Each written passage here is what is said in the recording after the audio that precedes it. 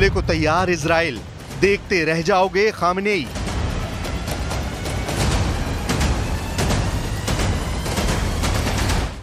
एक अक्टूबर 2024 को भले ही ईरान ने इसराइल पर 200 बैलिस्टिक मिसाइलें दागकर दुनिया को चौंका दिया हो, लेकिन अब ईरान के मिसाइल हमले के नौ दिन बाद खबर आ रही है कि इसराइल अब ईरान का हाल हिजबुल्ला और हमास से भी बुरा करने जा रहा है। इसराइल में पिछले नौ दिनों से एक ऐसे हमले की खौफनाक और भयानक तैयारी चल रही है, जिसके बारे में शायद ईरान को पक्के तौर पर पता नहीं है। इसराइल के प्रधानमंत्री नेतन्याहू ईरान पर हमला करने को लेकर अमेरिकी राष्ट्रपति बाइडन से 50 मिनट तक बातचीत कर चुके हैं। इधर इसराइल के रक्षा मंत्री योव गैलेंट ने ईरान पर हमले का ऐसा इशारा किया है। जिसने पूरे मिडिल ईस्ट में हड़कंप मचा कर रख दिया है। दावा किया जा रहा है कि इसराइल के इस हमले की भनक मिलने के बाद से ईरान के सुप्रीम लीडर अली खामनेई की रातों की नींद उड़ गई है। जरा देखिए इसराइल के रक्षा मंत्री योव गैलेंट ने क्या कहा है।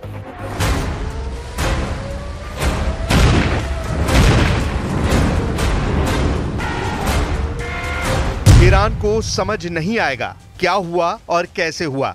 योव गैलेंट ने कहा कि ईरान पर इसराइल का हमला घातक और सटीक होगा और इस हमले की ईरान को भनक तक नहीं होगी। ईरान को समझ नहीं आएगा कि क्या हुआ और कैसे हुआ। योव गैलेंट का यह बयान इसराइल पर ईरान के मिसाइल हमलों के जवाब में आया है। सूत्रों की माने तो इसराइल ईरान के प्रमुख तेल ठिकानों को निशाना बनाने की योजना बना रहा है। माना जा रहा है कि हमले ईरान की अर्थव्यवस्था को गहरा नुकसान पहुँचाने के लिए होंगे, क्योंकि ईरान की बड़ी आर्थिक ताकत उसके तेल क्षेत्र है। इसके अलावा इसराइल ईरान के परमाणु ठिकानों पर भी बहुत बड़ा हमला कर सकता है। 50 मिनट में हुई सीक्रेट डील उड़ा दो ईरान के एटमी ठिकाने। लगभग 100 घंटे से दुनिया भर की मीडिया में ये दावे किए जा रहे हैं कि ईरान ने ज़मीन के नीचे एक बहुत बड़ा परमाणु परीक्षण किया है। दावा किया जा रहा है कि इसराइल ने पिछले 120 घंटे में ईरान में आए भूकंप और परमाणु बम का परीक्षण के दावों का सीक्रेट पता कर लिया है। इसीलिए बाइडन और नेतन्याहू ने 50 मिनट तक फोन पर बातचीत के दौरान लगभग फाइनल कर दिया है कि अब ईरान को 200 मिसाइल हमलों का जवाब जबरदस्त तरीके से दिया जाएगा התקפות שהאיראנים תקפו אותנו לפני uh, זמן קצר. ההתקפות האלה היו אגרסיביות, אבל ההתקפות האלה נכשלו כי הן לא היו התקפות מדויקות. חיל האוויר לא נפגע, כל המסלולים פועלים. भले ये कयास लगाए जा रहे थे कि अमेरिका इसराइल पर दबाव बना चुका है कि वो ईरान के परमाणु ठिकानों को तबाह नहीं करेगा। लेकिन जब से अमेरिका को खुफिया जानकारी मिली है कि ईरान ने भूकंप की आड़ में एटमी परीक्षण ही किया है, तब से अमेरिका अब इसराइल को उसके एटमी ठिकानों पर हमला करने की हरी झंडी दे चुका है। ऐसा सूत्रों के ज़रिए दावे किए जा रहे हैं। अब ये भी जान लीजिए कि ईरान ने 5 अक्टूबर को क्या किया था।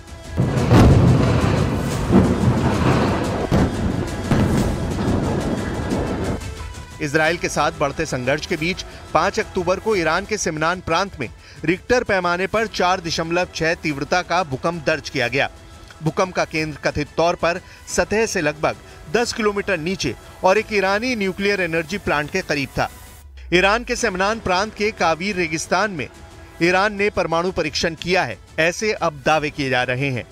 भूकंप के समय और परमाणु सुविधा के करीब होने के कारण इस बात की अटकलें लगाई जा रही हैं कि ईरान ने परमाणु बम का परीक्षण किया है। दावों के मुताबिक भूकंप का केंद्र सतह से लगभग 10 किलोमीटर नीचे और एक ईरानी न्यूक्लियर एनर्जी प्लांट के करीब था। भूकंप के दौरान जिस तरह की लहरें ज़मीन में उठती हैं, ये लहरें वैसी नहीं थी। ये लहरें वैसी थी जैसी न्यूक्लियर विस्फोट के बाद ज़मीन पर चलती हैं। इसीलिए दुनिया भर के रक्षा एक्सपर्ट्स और वैज्ञानिक ये दावा कर रहे हैं कि ईरान ने परमाणु परीक्षण किया है। ईरान ने इन दावों का खंडन नहीं किया है, जिसमें दावा किया जा रहा है कि ईरान ने एटम बम का टेस्ट किया है। यूनिट 9900 का वॉर प्लान, ईरान पर अदृश्य हमला।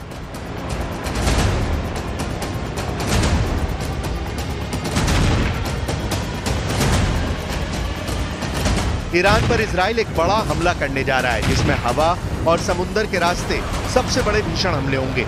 एक अक्टूबर को जब ईरान ने बैलिस्टिक मिसाइलों से इसराइल पर हमला किया था तो उस वक्त ईरान की हाइपरसोनिक मिसाइल फतेह वन और फतेह टू ने इसराइली सैन्य ठिकानों को काफ़ी नुकसान पहुँचाया था। उस वक्त इसराइल का air defence system, Iron Dome, Arrow two, Arrow three और डेविड स्लिंग सभी ईरानी मिसाइलों को रोक नहीं पाए थे।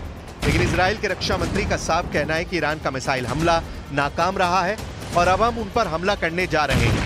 जरा देखिए इसराइल डिफेंस फोर्स की जासूसी यूनिट 9900 को लेकर रक्षा मंत्री योव गैलेंट क्या कह रहे हैं। खबरों के मुताबिक इसराइल के रक्षा मंत्री यॉब गैलेंट ने आईडीएफ की खुफिया यूनिट 9900 के कमांडर्स से बातचीत की है।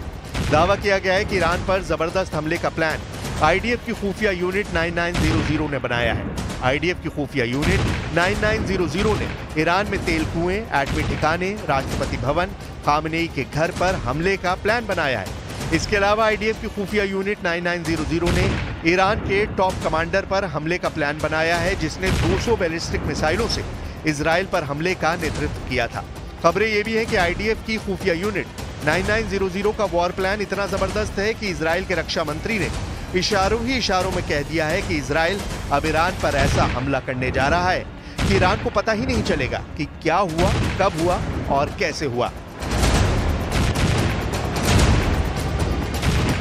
अब सवाल उठता है कि क्या इसराइल से 2000 किलोमीटर दूरी पर मौजूद ईरान पर हमला करना इतना आसान होगा?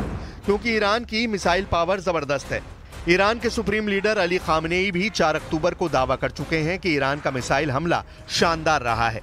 लगभग पाँच साल बाद हज़ारों ईरानियों के बीच में खामनेई ने ऐलान किया कि ये तो अभी इसराइल ने ईरान का मिसाइल ट्रेलर देखा है। अगर ज़रूरत पड़ी तो ईरान इसराइल के वजूद को मिटाने के लिए बहुत बड़ा मिसाइल हमला कर सकता है।